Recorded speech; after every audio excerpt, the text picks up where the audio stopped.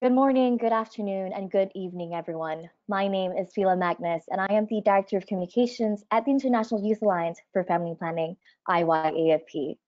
On behalf of the YIELD and IBP Networks team, I would like to welcome and thank you all for joining us today on our webinar, The Gendered Experience of Youth Leadership in Sexual and Reproductive Health and Rights, Bridging the Chasm.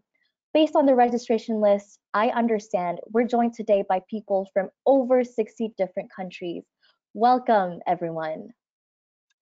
We are honored to have so many of you from across the world with us today to participate in this conversation, share your ideas, and we look forward to receiving your questions all throughout the presentation. The fact that so many of us have joined for today's discussion, despite how busy we are, serves as a reminder of how critical this matter is, especially in light of the pandemic and our efforts to curtail long-term impacts on young people's, especially young women and girls' health freedoms, and quality of life. I want to kick us off by sharing a little personal story. I come from a society that champions women to a certain extent until patriarchal values come in. For so many years, I have been policed about the things I say and the clothes I wear, where I can or can't go, what I can or cannot do. And I have been told that when championing for my rights or the rights of others, I am too much, too loud, and that undoubtedly has shaped the person, the person who I have become today. It had been with great hopes and anticipation that I would find a community where I and other young women like myself would feel safe and are able to reach the dreams and goals that we have set, only to be told or shown time and again that there is a glass ceiling we continue to struggle to break. Young women like myself and my peers have continued to struggle through a range of gender-specific challenges that compromise our SRHR leadership trajectories, leaving us disadvantaged and at times at risk. Based on my story and the many others captured in the YIELD Project research on gender, the time is now to address the gender inequality that is hindering the critical contributions of young advocates and leaders working to improve SRHR. On our agenda for today, we'll be kicking it off with an introduction of our speakers before moving on to a presentation on the findings and recommendations from the YIELD Gender paper. Afterwards, we will be jumping into a session with a brilliant pair of young female leaders where they will be sharing their perspectives. Next, we will then respond to some of your questions and close with some concrete suggestions for how you can take immediate action in your work. Next slide, please. We are joined here today by Jen Jennifer Catino, the coordinator for the YIELD project, who is currently based in Barcelona, Spain. Emily Battistini, the YIELD project research lead, who is based in New York City. Anna Aguilera, the deputy director for adolescent and youth sexual and reproductive health at Engender Health, who's currently based in Washington, D.C. And last but most certainly not least, we are joined by Judy Amina, the Youth Country Coordinator Kenya for Kenya Sexual and Reproductive Health and Rights Alliance, who's based in Nairobi, Kenya. A huge welcome to you all. Before we begin, I would like to quickly review key logistics for today's webinar. The webinar will be recorded and you're free to submit any questions you may have for the panelists at any point. The Q&A box will be kept open as we go along. And if you have yet to read the full report, you can do so by downloading it through the handout section on the GoTo platform or visit yieldproject.org. And so now, before we move on to an overview of the YIELD project and the gender research findings and recommendations, we'd like for you, our audience, to respond to a quick poll question. This will give us all a better sense of who is joining today, and it's right here on our screen right now. So please let us know, do you identify as a young person slash youth leader, a practitioner, a researcher, or a funder? Please select all that may apply for you.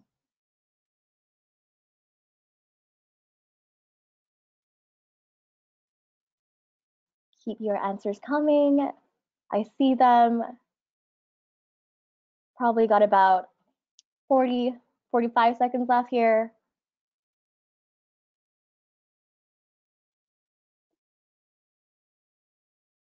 All right, 75% of you have voted. Keep it coming. I'd like to see it close to 100. All right. I think we're in the last five seconds.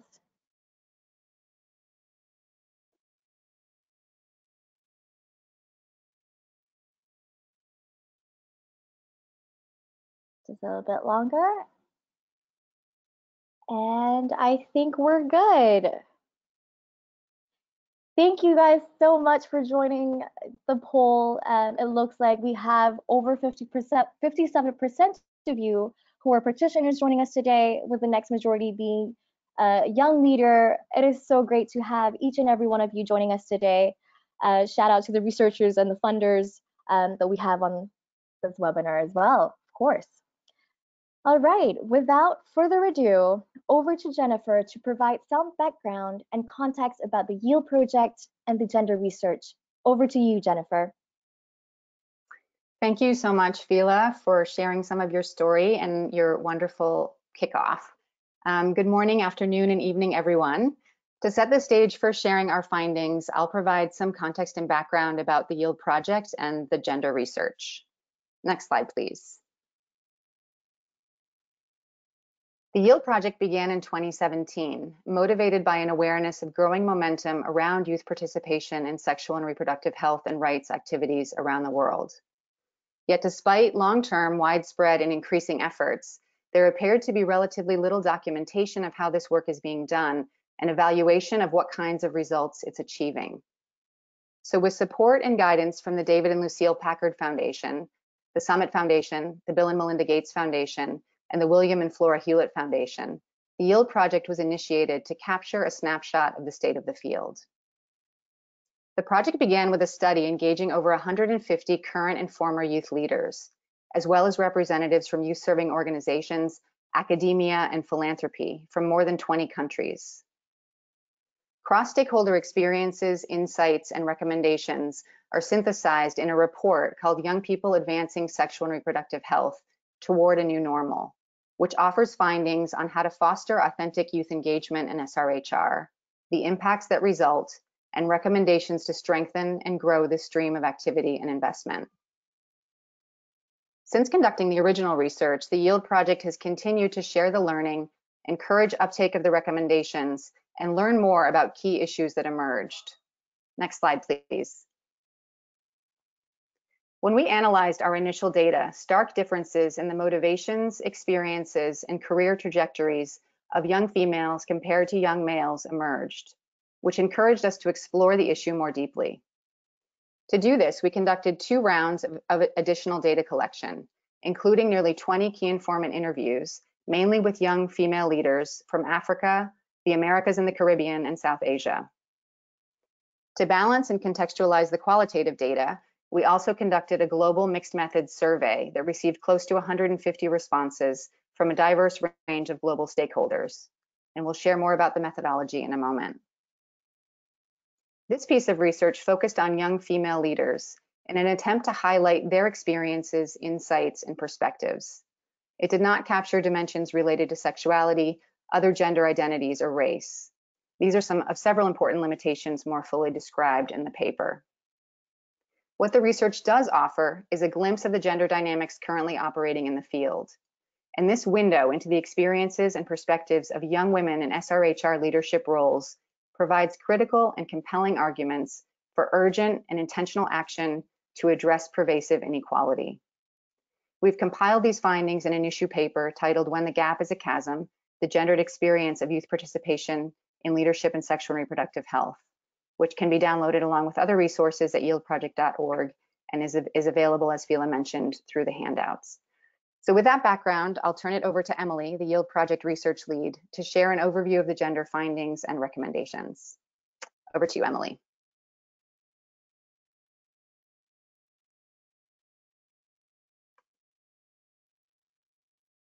Good morning, good afternoon, and good evening. Um, I'm Emily, and uh, next slide, please and I'm going to give you a little more detail on our methodology before moving on to discuss the findings and recommendations that emerged from our research. As Jen has already noted, this phase of our research involved two additional rounds of data collection, including nearly 20 key informant interviews and a global mixed method survey that received close to 150 responses. You can see the types of roles that our survey respondents occupied here. Next slide, please. And a breakdown by gender identities here. Next slide, please. I'm now going to give a brief overview of our findings. I'll touch first on the inequitable norms and unequal demands that construct the double burden of being young and female, then describe how these social and structural experiences translate into specific obstacles to the advancement of young women in SRHR. Finally, we'll talk about the coercion and violence that current youth, female youth leaders often face. Next slide, please. So first, unequal, the double burden of being young and female.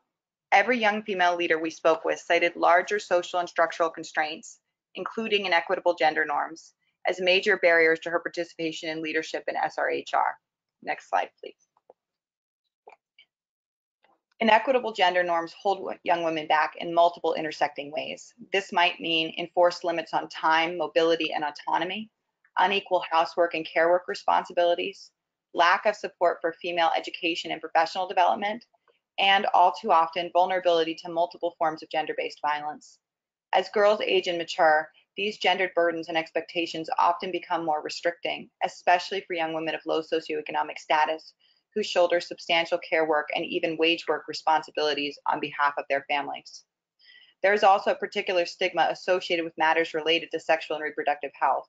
Young women receive less family support for their SRHR roles. They also experience more community level backlash for their involvement with SRHR issues, as sex and sexuality are more taboo when addressed by female advocates. In the words of one female youth leader, my experience has been that I've gone into spaces where certain things can be said by my male counterparts and won't be frowned upon. But if I say it as a young woman talking about sex in such spaces, I'm usually scorned or stigmatized or discriminated against. Next slide, please. Yield survey data suggests that all of this takes its toll. Over 70% of our respondents cited both inequitable gender norms and the stigma associated with speaking openly about SRHR as among the most significant barriers to female participation and leadership in the field. Close to 50% of respondents reported observing or encountering these barriers in their own work. And this wasn't all. Other associated barriers, like backlash from families and communities, unequal housework and care work responsibilities, and limits on time and mobility were also considered significant constraints on young female leaders. Next slide, please. So moving on now to unfair or the specific obstacles that female youth leaders face. Basically, inequitable norms and unequal demands deny young women opportunities, and this contributes to young female advocates being less confident, qualified, and professionally successful than their male peers. Next slide, please. Patriarchal environments make girls and young women feel inadequate and insecure. They also limit the opportunities open to young female leaders who have more difficulty accessing trainings, securing remunerative positions, and achieving ongoing recognition and promotion in SRHR. This in turn creates a vicious cycle by making educational opportunities harder and professional opportunities harder to access, either through outright exclusion or lack of support for the kind of work-life conflicts that plague women in their reproductive years, Inequitable environments rob young women of the capacity to surmount their competence issues by deliberately building their own qualifications. The result is young female leaders who are not only objectively less qualified than their male counterparts, but who also lack the ability to convey their value to potential employers and funders. Our informants were unanimous in their belief that differences in confidence, qualifications, work patterns, and self-promotion are creating severe gender imbalances both in current compensation and access to future opportunities. The cycle is again self-fulfilling. As male youth leaders advance and female youth leaders lag behind, these gaps in resume and accomplishment compound each other, radically limiting the ability of young women to succeed or support themselves with their SRHR work.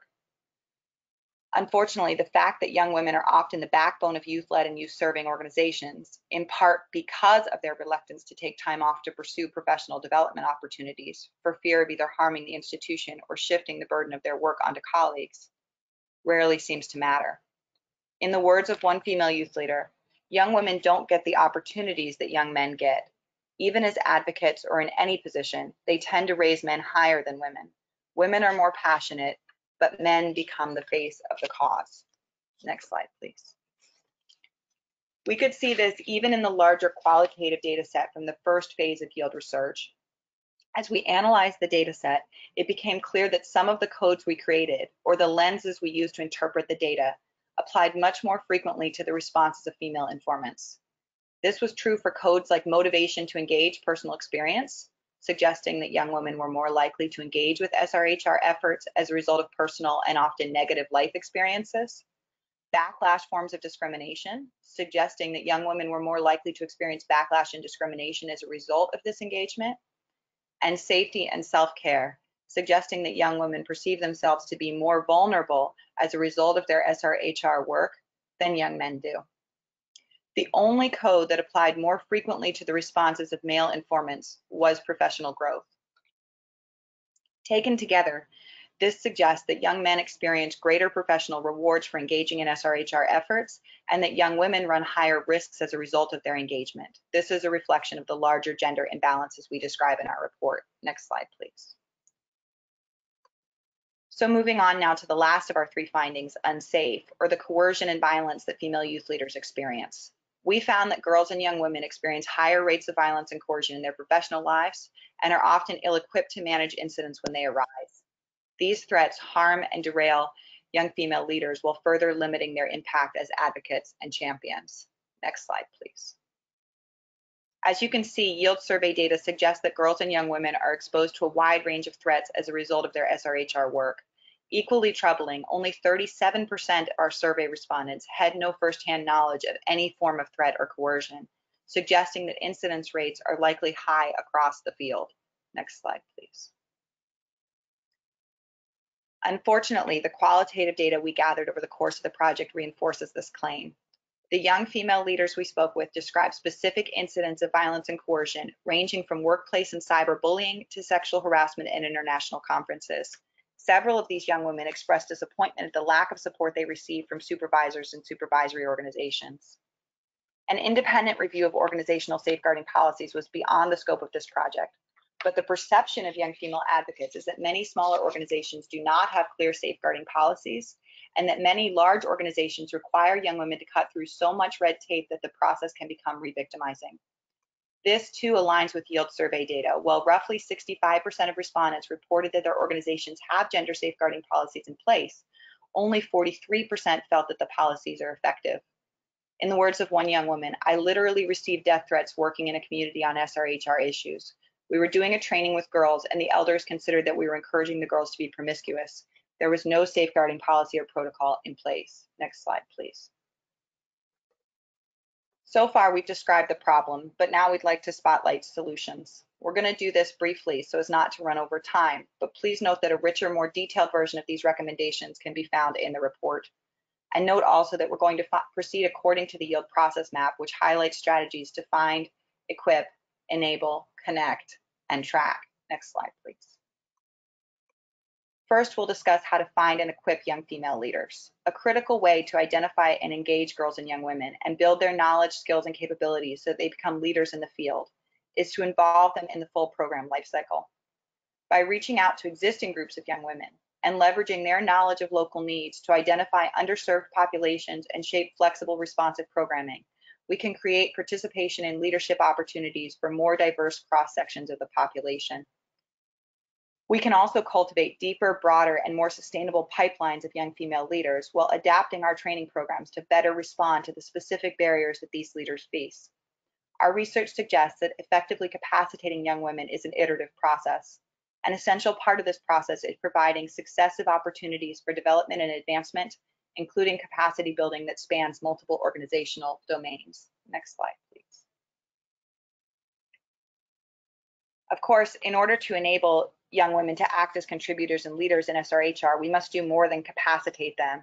We must also tackle four interrelated tasks, the cultivation of gender equitable organizations and organizational cultures, the establishment and implementation of responsive safeguarding policies, the mainstreaming of female leadership, and the fair compensation and resourcing of young women in their organizations.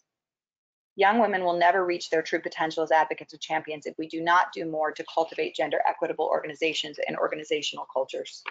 This means establishing and implementing institutional policies and practices that directly address gender inequality and how it plays out in organizations, and that help young women manage life transitions, balance care work responsibilities, and achieve ongoing professional development. Possible strategies include, and I'm going to take us over to the next slide here so you can see the responses from our survey.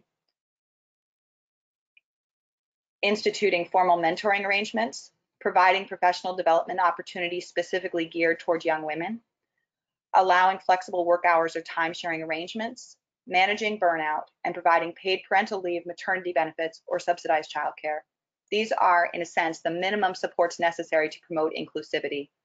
But the larger goal should be to transform organizational cultures and commit to supporting young women as they manage the gender demands of their professional and personal lives. Obviously, another crucial part of enabling young women is keeping them safe. Our young female respondents spoke repeatedly of the need to institute more explicit, effective, and responsive safeguarding policies. Organizations will need support in doing this, and young women themselves should be involved here as the only way to bridge the gap between inadequate policies and unnecessarily rigid ones may be to co-design them with the populations they are intended to serve. This is also an area where funders can play a significant role in nudging organizations in the right direction. We also need to mainstream female leadership, fairly compensate young women for their work, and shift the funding paradigm to get more money into the hands of young women's organizations. Compensation is particularly important here. Providing fair compensation across SRHR initiatives would take seriously the field's commitment to empowering young women and nurturing their leadership. And the converse is also true. Not providing equitable compensation is a de facto decision to exclude promising young women from the field. Next slide, please.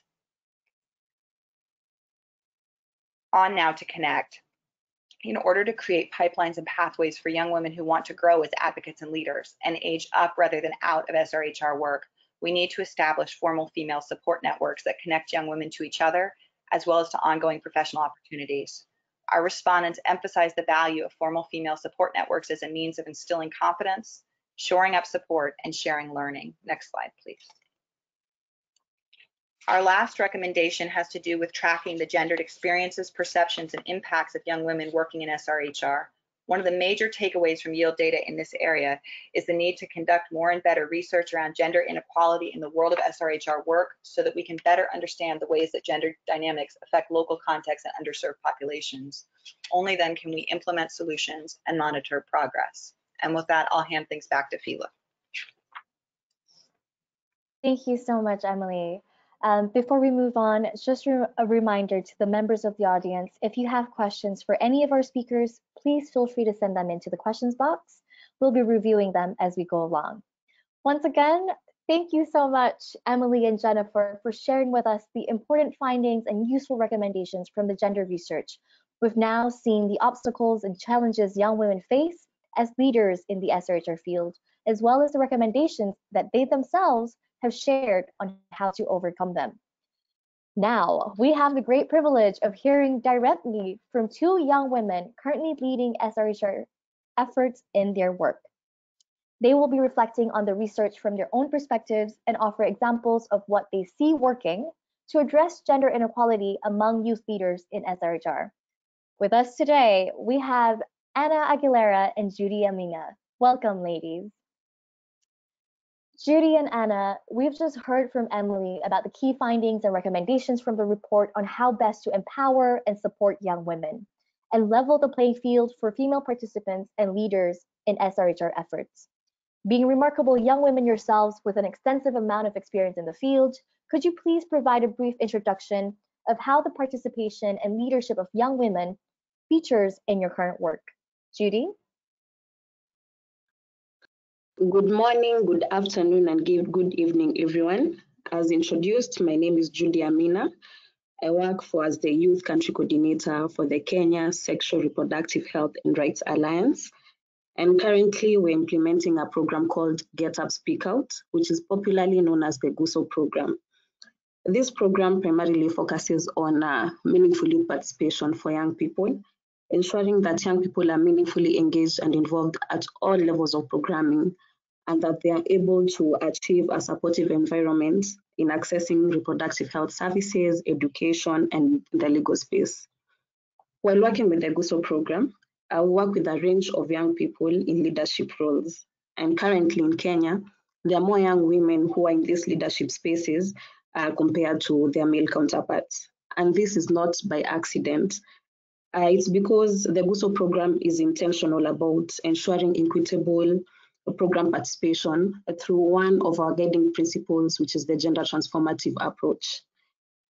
In our context, uh, young women also face gender-specific challenges.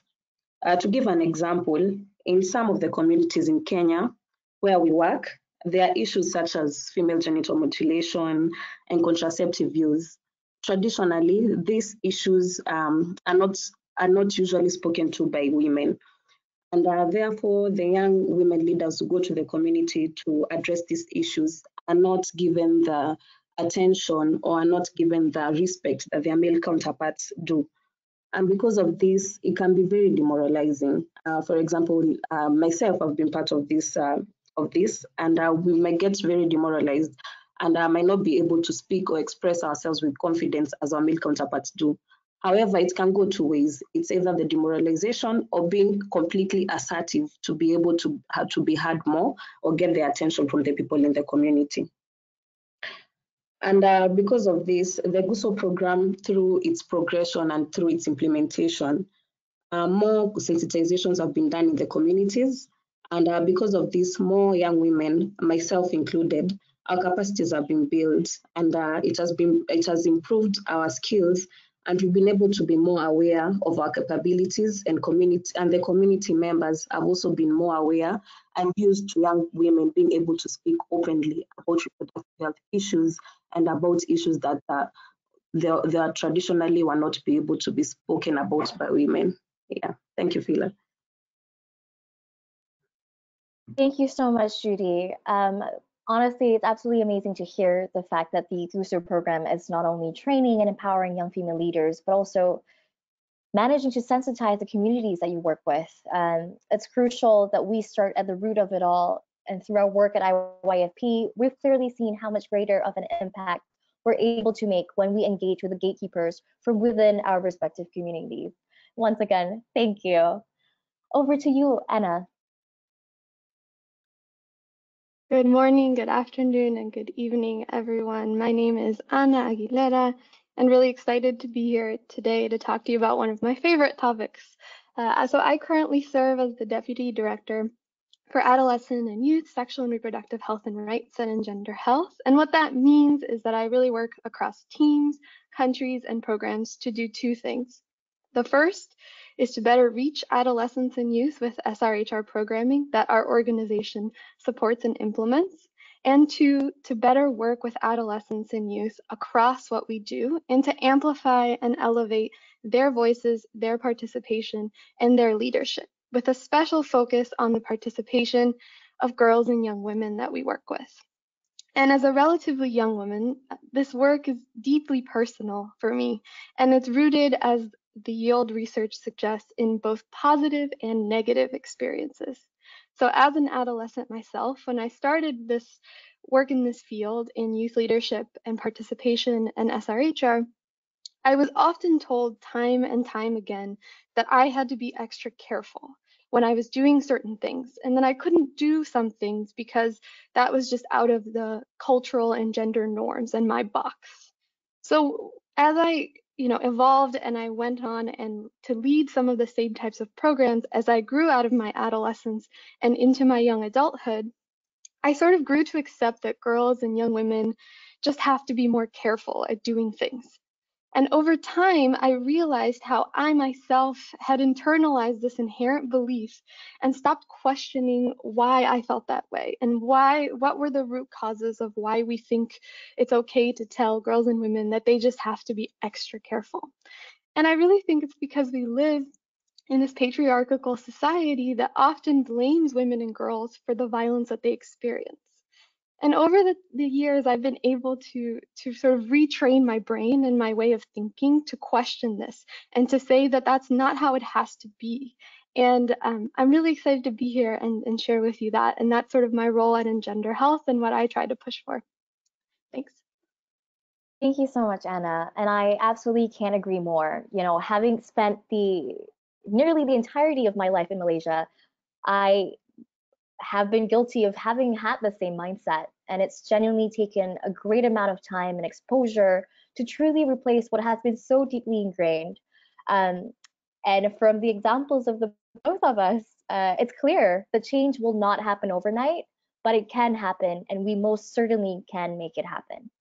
Um, so once again, thank you so much for your response. And now back to you, Judy. Please share with our audience examples of how SRHR efforts you know about reflect the report recommendations.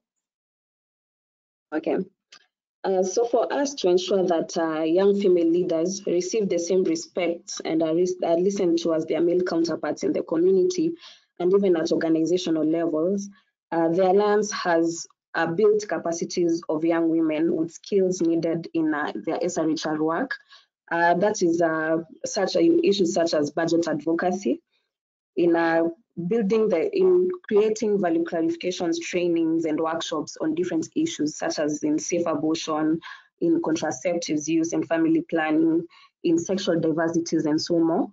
And this is mainly because we understand that even as uh, our young women leaders are working in the community they've grown up with the same norms gender norms and uh, stereotypes uh, instilled within themselves so having these trainings and capacity building spaces and workshops has helped them to also uh, reflect on these gender norms that are unhealthy and um, uh, try to dismantle the to dismantle the beliefs that they might have uh, on their lives about their participation and their leadership. Uh, because of this, uh, we've had uh, more female leaders like myself who are more aware of our rights and can hold our local governments accountable about our safety and about our involvement. Uh, with this also, we are able to negotiate our terms of engagement with our partner organizations, and we also learn alternative ways of engaging with the community and with the stakeholders that we work with. Uh, for example, instead of going to the field to have a sensitization forum, uh, we might instead have a local community radio or a local newspaper uh, have us as, as guests and share with them the issues that you want to speak about. Uh, we also have recently have been able to do a lot of tweet chats and campaigns, which have helped to also address some of the advocacy issues that we want to and create more awareness on the ground with more young people. So we find alternative ways to be able to do some of these activities. Aside from that, uh, because of these trainings and mentorship that young female leaders have been able to do within our programs, uh, a number of young people have been able to advance their careers and get uh, opportunities within our partner organizations. Uh, for example, we have young uh, women leaders who have gotten opportunities such as program officers, and this is uh, in organizations that are working with us, such as CSA, FHOK, and others who have been employed as experts in certain fields such as uh, budget advocacies and are creating memorandums to the county governments and that is specifically done by NYA Kenya. Uh, we've been able to do more and more research, uh, especially with the GUSO program. And because of the trainings on research, uh, we have more and more young people, young people, especially young women, who are being who are taking part as research research assistants. And uh, with this, we see that more and more young women are actually taking part in the roles in the organizations and the leadership spaces. So all this, uh, we are able to do this because it's intentional and organization, as much as they call for opportunities for young people, they make sure that they stress and they emphasize on, and encourage young women to apply for these spaces. Aside from that, as I mentioned earlier, there are more young women in leadership roles than men in our 17 civil society organizations that make up the SRHR Alliance. And uh, this is mainly because uh, mostly the young women who get the opportunities, like myself, we're able to mentor other young women and coach the other, other young women and connect them to these opportunities. So there's more role modeling and uh, creating uh, more and more young women who are confident and who are able to have these spaces. Uh, this kind of uh, peer mentorship also inspires young and enables young women to move into different kinds of leadership roles. And that, that's uh, how in Kenya we, we do it. Thank you so much, Judy. I absolutely love that, especially that last bit there where you spoke about female role models and peer mentorship being a reality. Um, I would have to say that on a personal capacity, on a personal note, this is one of the reasons as to why I've loved the time that I have had at the International Youth Alliance for Family Planning, because I've been very fortunate to have remarkable young women who were the founders, um, previous executive members of the organization, who had in, who had mentored me in varying capacities, who've championed for me even when I, in certain instances, had failed to believe in myself. Um, truly, without having these women to look to and garner support from, it's very likely that I would not have been able to be here where I am today, you know, moderating this great webinar. Um, so thank you so much, Judy. Anna, over to you. Thanks, Fila. So one thing I've learned over my work in this field is regardless of if you're working with a smaller local community-based organization or a large INGO, is that change really has to start from within. And oftentimes, for some reason, we think that working in the SRHR field shields us from a world that which we live in that is patriarchal and often um, exhibits racist practices and beliefs in what we do. And all of that creates additional barriers for young female leaders. So if we really want to cultivate gender equitable organizations and organizational cultures, we have to take the time to dig deep and reflect on how we ourselves are perpetuating harmful gender norms and racist ideas in how we operate and not just in our programming. So Engender Health, we're in the midst of this really interesting organizational change process that has been sparked by our most recent strategic plan and our mandate to really walk the walk when it comes to gender equality. And we're looking at how our systems, how our processes, how our structures, how they inhibit equitable gender norms from our HR practices to our safeguarding policies to how we engage and talk to each other. And this process starts with what we call a staff transformation process, where we dig deep through values clarification sessions and dialogues over time to reflect on, challenge, and change our own biases and our own stereotypes that get in the way of doing the best work that we can. And we do have safeguarding uh, policies and procedures in place, and we have a gender pay gap analysis that's public for everyone to see, and that will help hold ourselves accountable to this work. But this is only one step in the process. And next on our to-do list is to work collaboratively through a youth adult partnership with Choice for Youth and Sexuality, a global youth-led partner, to do two things. And first, we're looking to leverage their expertise in meaningful adolescent and youth participation to adopt a more systematic approach to how we engage in meaningful adolescent and youth participation within our organization. So that means that we'll have to go department by department, policy by policy, and program by program to see how we need to shift our thinking and our way of working. And the second piece, which is equally important, is we want to institute a formal accountability mechanism for Engender Health to measure and monitor its progress over time to do this work well. And within that process, we're keeping top of mind the intersection between gender, age, and other unique identities of young people that often coalesce and create these additional layers of barriers. So we're thinking, you know, with our executive team about the role that young women specifically play on decision-making bodies, on governance bodies, and in senior leadership roles and Engender Health. And we recognize that while this is crucial, it will not be enough, right? Young women must be supported and enabled to influence decision-making powers. So it's looking at um, how we view privilege of seniority of age and years of experience within our organization. And this, from this, we'll have to change some of the ways in which we work that have been deeply ingrained into us through, through the years and create more safe and inclusive spaces. Um, but I think to make waves, we need many organizations in this space, not only to come up with policies and procedures, but to actually reflect on challenge and change the way they operate and not just have those policies on shelves. Um, we believe that it starts for us with our partnership with a youth-led organization that will help us recognize, value, and financially compensate youth-led organizations for their expertise while supporting us to be better. And so I'll, I'll leave it there. Thanks.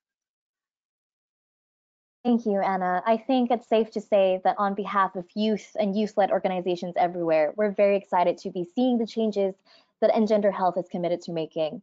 It is most certainly crucial for all organizations out there to be looking to do the same and working together with youth-led organizations who are the true experts of what our needs are. Um, on to the next question that we have. What do you see as the biggest priorities in terms of what needs to happen now to address issues of discrimination and violence against young women working in the field of SRHR. Judy?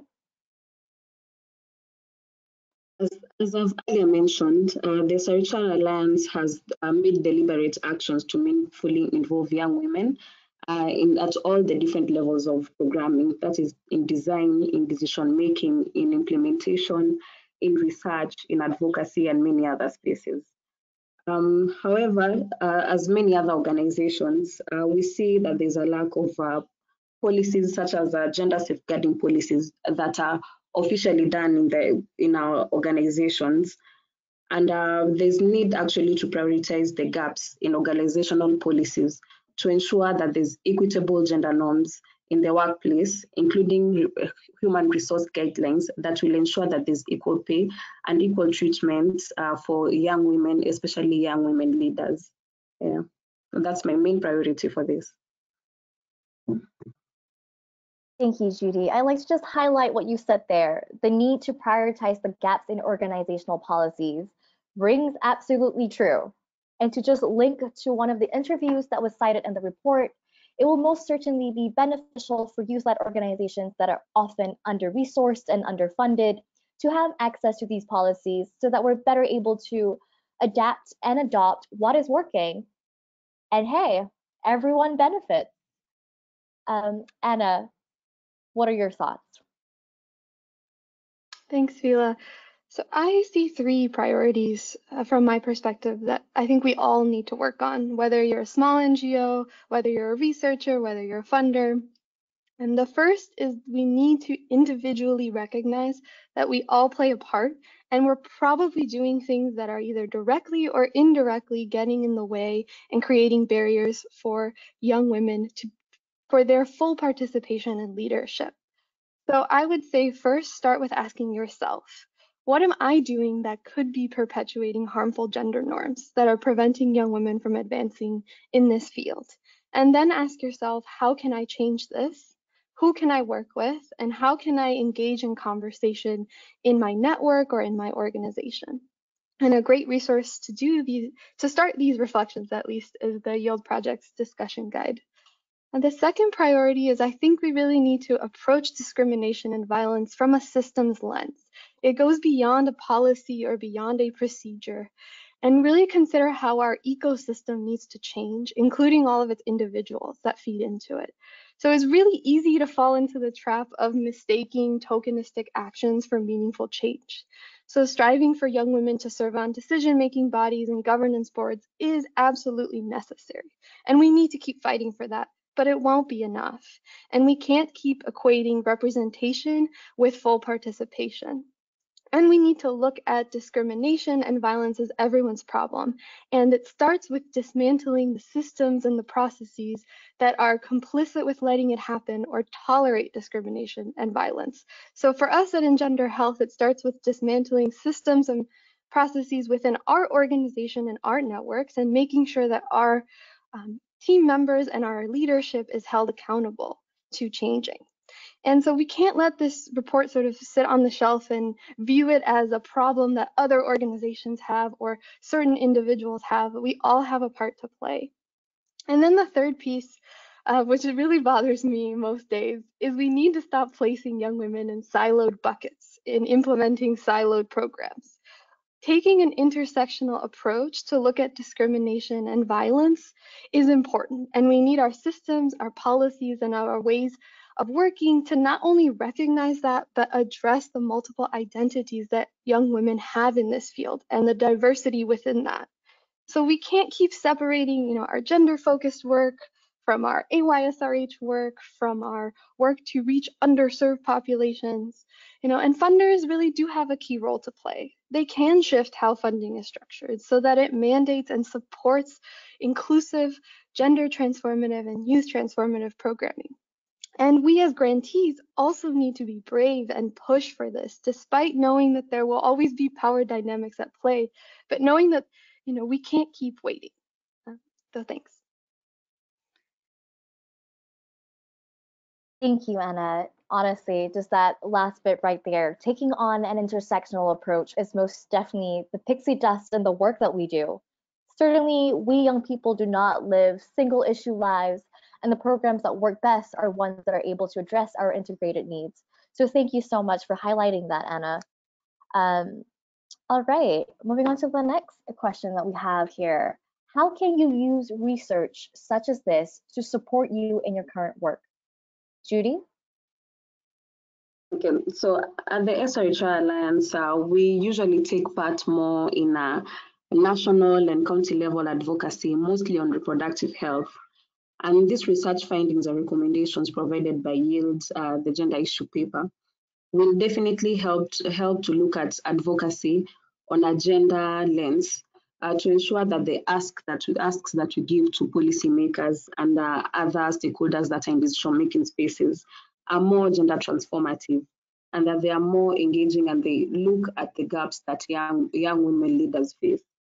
The Alliance also being a large network of civil society organizations, as I've earlier mentioned, working on SRHR, would actually uh, use these recommendations to shed more light and to guide and to ensure that the programs that they implement and that the work they do in the community, in, at county levels, and even national and regional levels is more gender transformative and that it ensures equal gender norms and a supportive environment for young female leaders.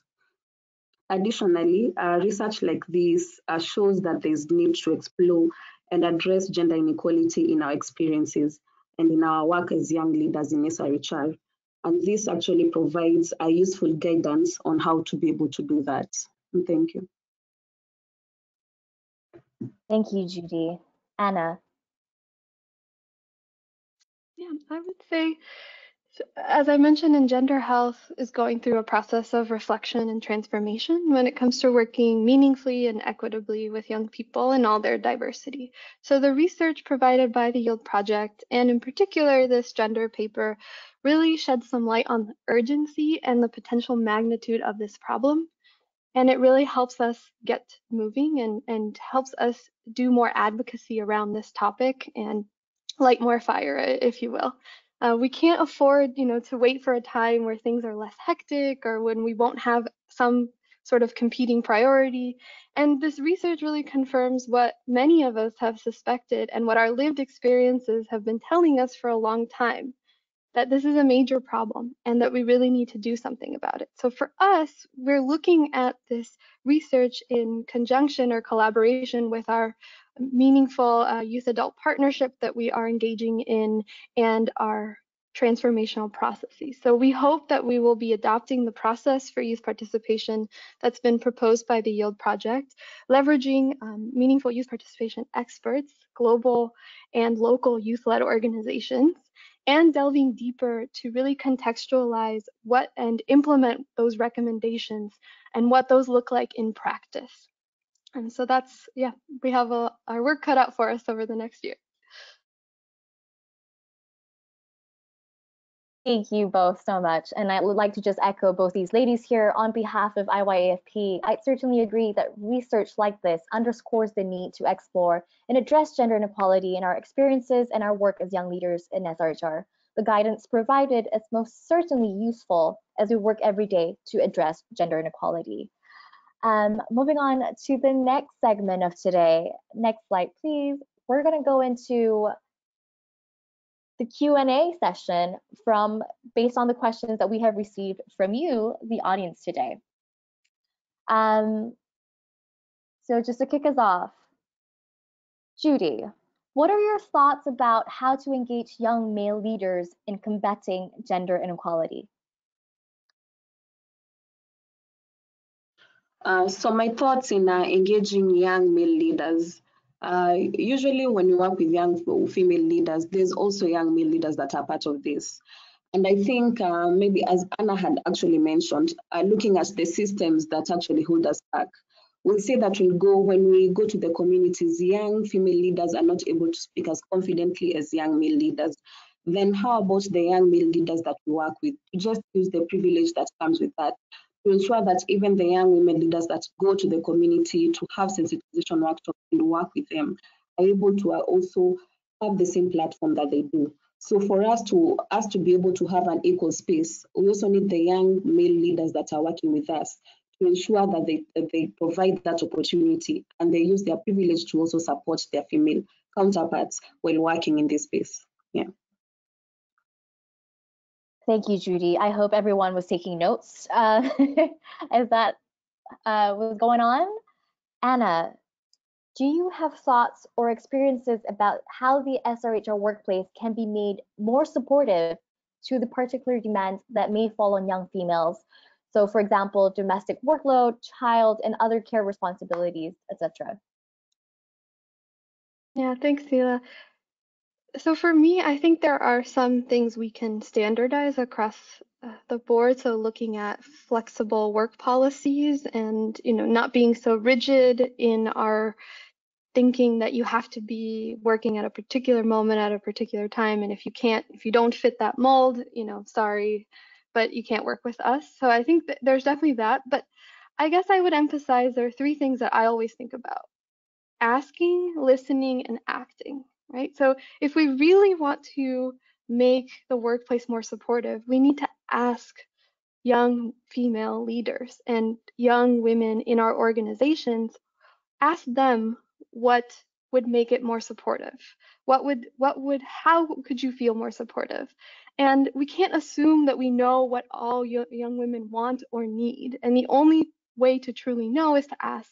And then when we ask, we need to be open to and ready to listen and actually act on what. So it looks probably very different in for us at Engender Health. You know, supporting a young female leader in Ethiopia will look very different, perhaps, than supporting a young female leader in India. And if we don't take the time to ask and really listen, then you know we'll, we'll continue to miss key important things that maybe our HR teams or our managers just don't see because they don't experience it on a daily basis. Thank you, Anna. Emily, over to you. What age range is gender research referring to? And did you find differences by geography and other contextual issues? Um, hi, thanks, Fila. Um, I, I would say that, first of all, the age range was kept um, fairly broad in the gender research. So um, the larger yield research has a fairly wide window that um, that extends, I think, until until 34, but um, it is a is a broad window. I think that the emphasis was on sort of later adolescence and youth, but in the survey and in the related um, research, it was kept a, a, broad window. And I would say that the differences by geography and other sort of contextual issues, the the um, this was something that we would love to capture in additional research or that should be captured in additional research in this area. And I would say the same thing about differences within that really broad age range, like the needs of younger adolescent girls versus older adolescent girls, older adolescent girls versus um, youth, and similarly differences urban rural, differences depending on other um, variables here, it would be wonderful to capture more about the experiences of LGBTQA populations, more about the experiences of, um, you know, different racial and ethnic uh, uh, groups, that differences depending on many sort of cleavages that weren't that weren't in this research, if that makes sense, and that weren't able to be captured within the scope that we had. Thank you so much, Emily. Thank you all so much for sending in your questions. We're so sorry for not being able to respond to every single one of them, but on behalf of the team and panelists today, I hope you feel even more motivated to take immediate and intentional action to address gender inequality among young people working to improve SRHR around the world. In that spirit, we have some, some tools to offer. Next slide, please. So what you can do, the YIELD project has developed a number of resources that can help support putting the research recommendations into practice. First, of course, please check out the gender paper if you still haven't done so, and dive a little deeper to learn more from young women about their experiences. There is also a discussion guide available that can help you kickstart conversations at your organization. If you're looking for a more interactive way to foster these discussions, and connect with others, check out the Storytelling Dice Game.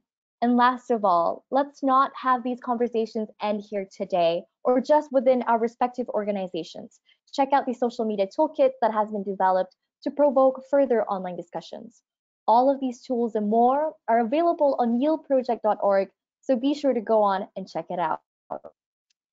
Um, so having heard everyone speak today, I am heartened by the critical work underway to address gender discrimination and violence in our work as young advocates for SRHR.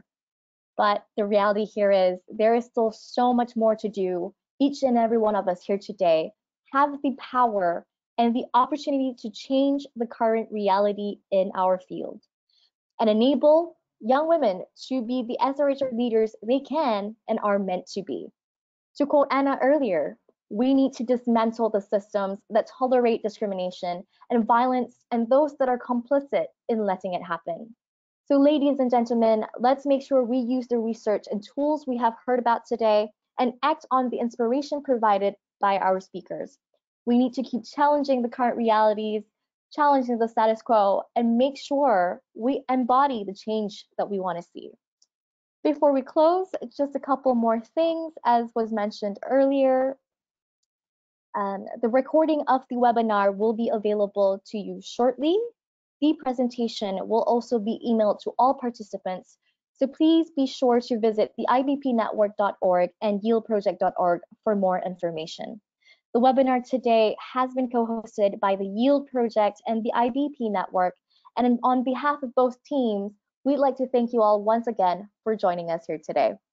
Have a wonderful rest of the day, everyone. Thank you.